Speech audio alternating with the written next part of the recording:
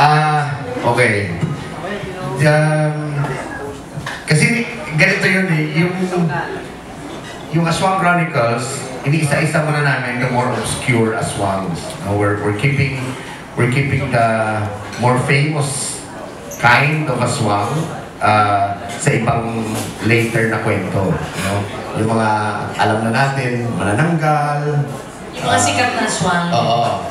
For Kubot, we just found it really interesting. Actually, nag-present nag-present pa kami ng iba-ibang aswang. Nag-usap kami kung ano ba yung itong aswang this time around. No? Ah, meron kaming isang tipo ng aswang na parang umbrella, no? malaki masyado yung pakpak. Ah, but we eventually decided on Kubot. Mainly because of what we can showcase na bago sa aswang. Kasi di ba, sanay na tayo sa fangs, sanay na tayo sa hating katawan. So what else could we show? What other facets of an aswang could we show? Ah, kubot, ang description ng kubot talaga is they ambush their victims in the middle of the road and they're usually women.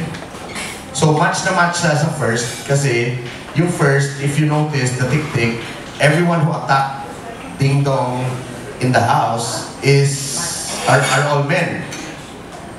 Uh, and we already knew that in the second franchise, it's mostly women who's gonna come after Dong. So, tamang-tama, yung description ng kubot na usually babae siya, they have really long hair, and they look like a ball of hair in the middle of the road. I don't know if you've seen the teaser, we released the teaser. And uh, how they attack their victims is their hair encircle, anong tawag mo dyan? Uh, Ini-entwine direct. in, entwine or parang pinupuluputan yung tao. And then, pag pulupot niya, they squeeze the body like toothpaste.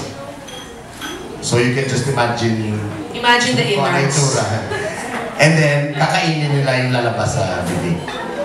Yun. So, uh, I think it's very interesting. Of course, minus the gore, uh, interesting pa rin siya eh, na nag-wrap yung buhok sa katawan.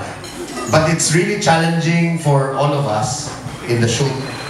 Kasi in as much as CG yung buhok, computer graphics yung buhok, yung actors have to wear wigs.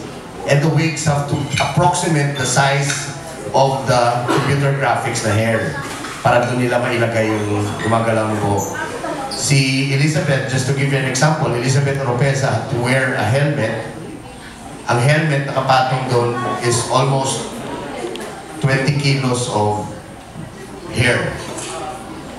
Oo, siyempre hindi naman drawing yung mukha ni Elizabeth Oropesa, di ba? Akala ko glamour-glamour yung trabaho dito direct. Uh, sinuotan mo naman ako ng pagkahaba-haba mo. Oh, pero ganun kahirap. And, and there's several kubots every now and then in the, in the set.